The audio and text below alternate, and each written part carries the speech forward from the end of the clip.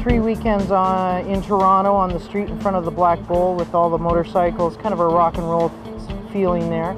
And uh, Halifax dropped their card in my, uh, my hat. And then from there, uh, within two weeks, I was booked across Canada, right all the way to Singapore. So it was very cool.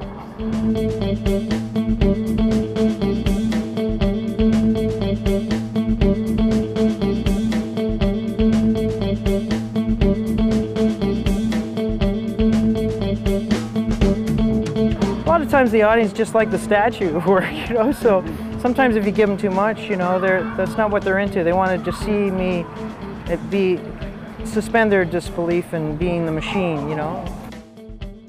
It's almost like a mantra, a physical mantra that I'm doing. So it's a, it, my Elvis sort of has a Tai Chi feel to it when I do the rotation.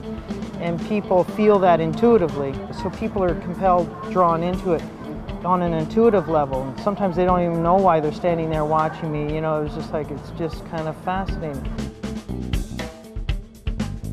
Now people say, are you an Elvis impersonator? I said, no, I'm an Elvis simulator.